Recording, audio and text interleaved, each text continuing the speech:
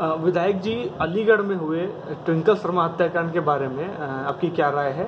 आपकी क्या प्रतिक्रिया जनता जानना चाहती बहुत ही जघन्य और निंदनीय अपराध है। ऐसे अपराध तो आज के ज़माने में होते हैं तो ये सोच के भी मुझे अंदर से मन भर जाता है, द्रवित हो उठता है कि आज के समाज में भी लोग ऐसी घटना कर सकते हैं। इस घटना को तो जितनी निंदा की जाए, जितनी भर्सना की जाए, वो कम है। विधायक जी, इसमें प्रशासन की तरफ़ से, आपकी सरकार की तरफ़ से अभी तक क्या कार्रवाई की गई है? सरकार पूरी तरीके से सजग है और जैसे ही ये जानकारी हुई, तुरंत कार्रवाई की गई है। इंस्पेक्टर दरोगा, इन लोगों को मिलाकर करीब लगभग पाँच लोग अभी तक निलंबित किए जा चुके हैं। और भी अन्य अगर कोई इसमें जो दोषी है तो उसके खिलाफ भी सख्त कार्रवाई होगी। और केवल खाना पूर्ति नहीं होगी, उसके खिलाफ सख्त कार्रवाई की जाएगी। और दो आरोपी भी अभी तक अरेस्ट किए जा चुके हैं और उनके खिलाफ भी कार्रवाई शब्द शुरू हो चुकी है। विधायक जी जैसा कि सोशल मीडिया से लेकर जनता के बीच बहुत गहरा आक्रोश देखने को मिल रहा है इस हत्याकांड को लेकर।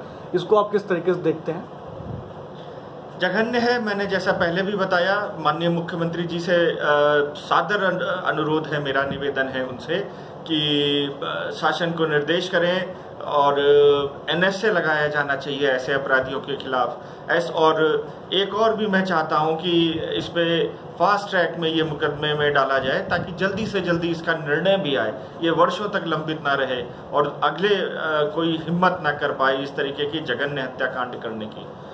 और मैं दूसरा, मैं पीड़ित के परिवार से भी मैं मैं, वो मेरा अपना परिवार है, मेरे क्षेत्र का है, मेरे उत्तर प्रदेश का है, मेरे देश का है।